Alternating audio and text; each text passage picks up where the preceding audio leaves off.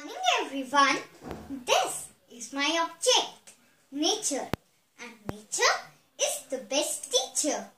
Look at the sun. It gives us heat, light, energy and list is endless. It teaches us to lead a meaningful life. Look at the sky. It teaches us that there is no limit. We can go as high as we want to.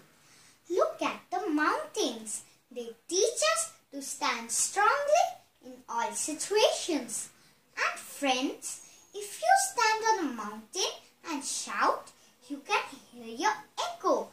This teaches us what goes around comes around.